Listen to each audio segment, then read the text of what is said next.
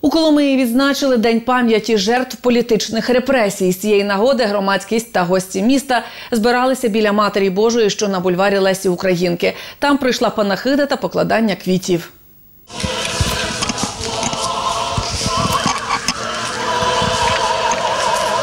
Влітку 2000 року, після симпозіуму скульпторів, бульвар Лесі Українки в Коломиї прикрасила скульптура Матері Божої. Вже традиційно у третю неділю травня тут збирається громадськість міста, аби вшанувати пам'ять жертв політичних репресій. Священники відправляють скорботну панахиду.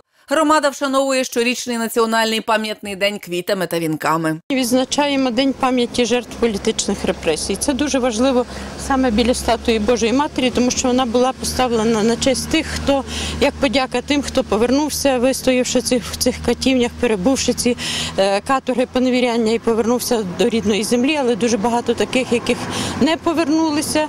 Цілі родини репресовані, цілі покоління, і, і то не одне покоління. Це є вшанування тих, хто загинув в часи жорстоких сталінських репресій і репресій, які взагалі відбувалися з українським народом. Ми знаємо, що репресії українського народу розпочалися зразу ж таки після українізації, так званої, які вважали прекрасним періодом в історії українського народу.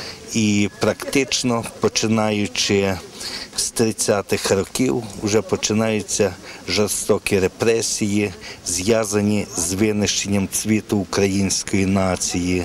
Почали спілки відповідно е, письменників. Потім ми знаємо, як знищили бандуристів, далі винищували цвіт українців, і, зокрема, не тільки українців, генералітет нашої армії, з чим підійшли ми з дуже важкими наслідками до Другої світової війни. І на цьому репресії не закінчилися. Почесним гостем на цьогорічному заході був письменник Герой України, лауреат Шевченківської премії Роман Іваничук. Ми будемо сьогодні е, пошановувати одну родину, яка аплікується на весь український рід, тому що в цій родині два покоління репресовані. Е, Михайло Іваничук, який був січовим стрільцем, заполярником, і е, нові острови відкрив, і був в експедиції на землі Франца Йосипа, і в 37-му році він був розстріляний. Але лишився його брат Іван Іваничук, який народив двох синів і дочку, які в нашому місті жили: Романа Іваничука, Євгена Іваничука і Наталку.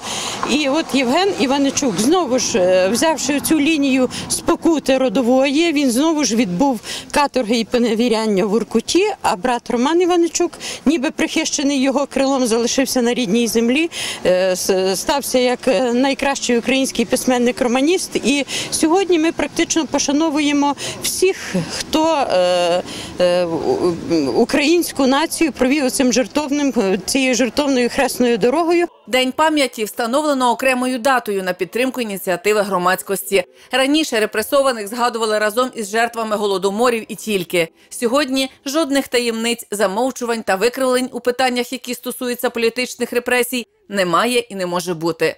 У цей день знак скорботи приспустили державні прапори, не проводилися масові розважальні заходи. Відповідні зміни внесли до програм теле та радіопередач. Проте кращою пошаною тим, хто загинув, повинна бути пам'ять і молитва. А тим, хто пережив страшні роки, повсякденна турбота.